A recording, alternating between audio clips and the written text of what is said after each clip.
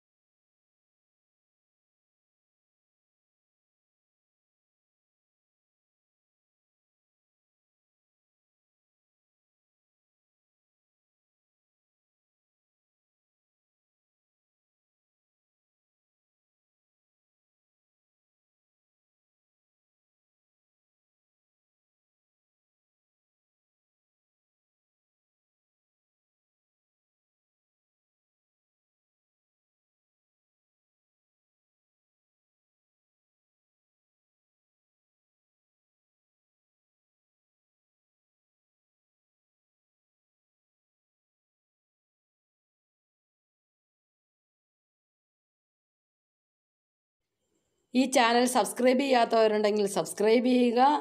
Video മുഴുവൻ കണ്ടതിന് നന്ദി നമസ്കാരം. ഇനി മറ്റൊരു വീഡിയോയുമായി കണ്ടുമുട്ടാം.